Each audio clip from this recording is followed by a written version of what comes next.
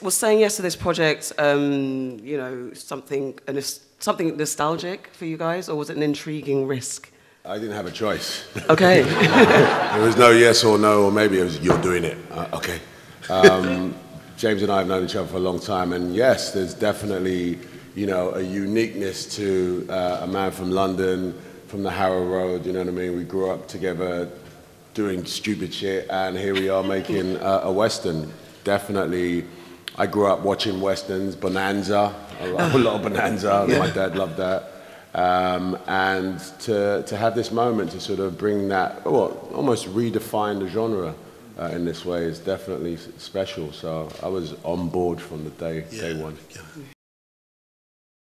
Some of these characters are all, you know, real people or were real people, you know. Rufus Buck uh, was this really, interestingly, he was very young at the height of his, of his reign. He was probably about 20 or 19 he was a biracial man, uh, black and, and, Native American, and his gang, I mean, it looked like something out of Bugsy Malone. This is a little guys just like this, you know. and this is the Rufus Buck gang.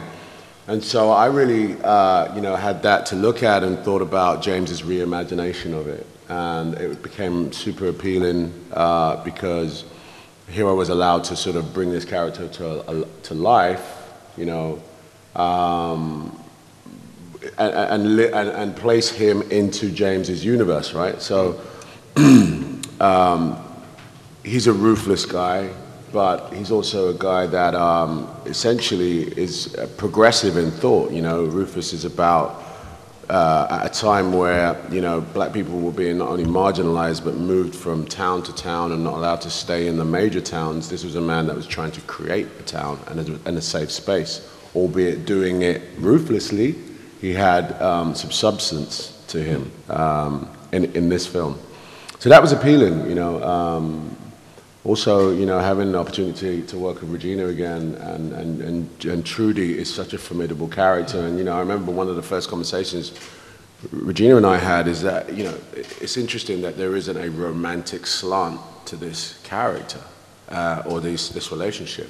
And we, we celebrated that as actors as we started to develop because it just meant that we were, you know, head to head. Literally, there's a moment in the film where I put my head on her head, and that, was, that came from an improvisation, but it was also a, a sort of a, a, nod to the equality of our characters mm. and how they stand in this film. And, and that was really, I don't know, touching and moving and different, you know? Yeah.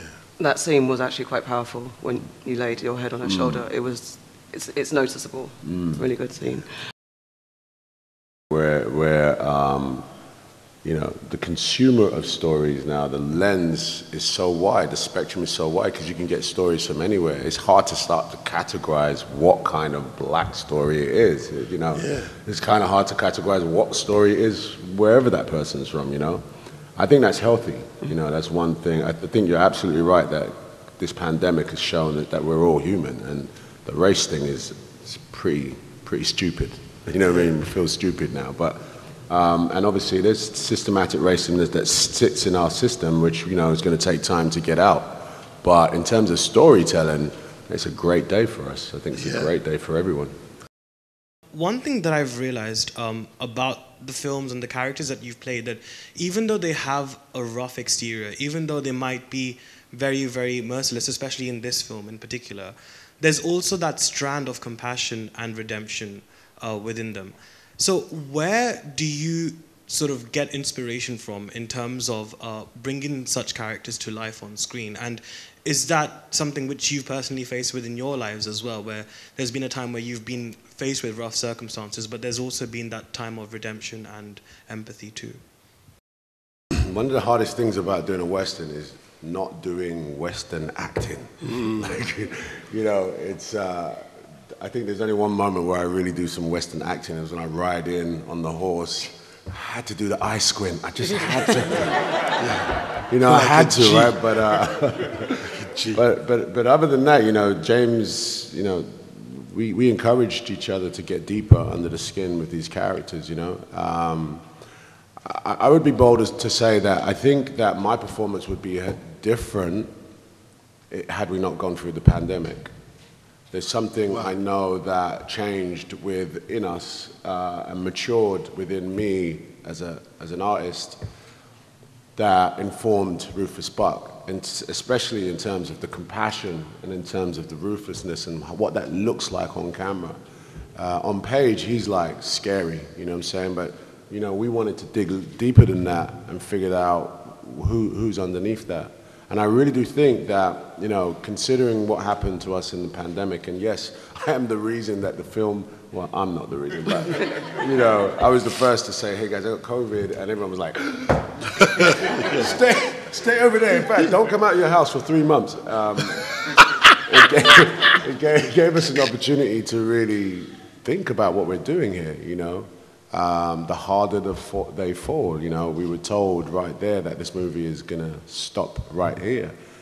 We were thinking that the world was going to die, you know, this was a virus that, you know, so was going to kill us all. But we stood back up. Um, I was thankful, healthy and well, and it really gave me a life changing perspective. So I, I think I ended up injecting some of that Yeah. maturity, at least, into that character. Uh, I hope so, anyway. Thanks, bro. And unfortunately, that's all we have time